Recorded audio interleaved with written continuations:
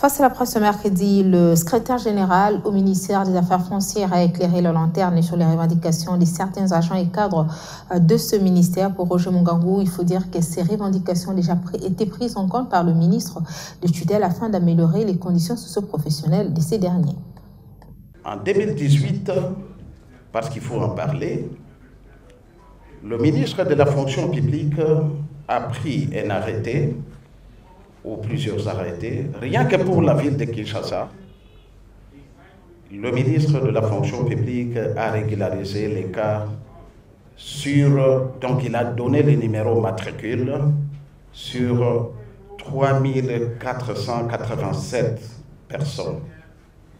3487 personnes sur Kinshasa.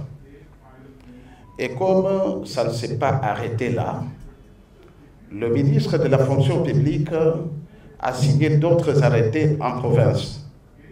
Et ces arrêtés-là qui sont en province ont repris des personnes qui ont été oubliées dans les arrêtés de Kinshasa.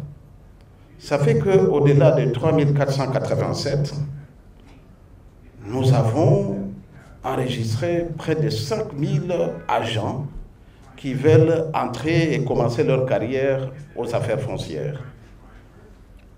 La difficulté vient de là. Ils savent que dès qu'ils viennent à l'administration, ils doivent avoir le salaire comme dans les entreprises publiques. C'est malheureusement l'information qui a manqué, qui a fait défaut. Au-delà de ça, il y a la fameuse rétrocession.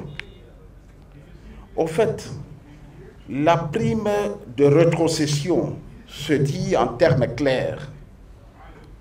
C'est une prime d'encouragement sur la rétrocession des recettes réalisées. On a arrêté de payer cette prime de rétrocession il y a seulement cinq mois. Je dis et je martèle, c'est maintenant qu'on va payer le mois de mars.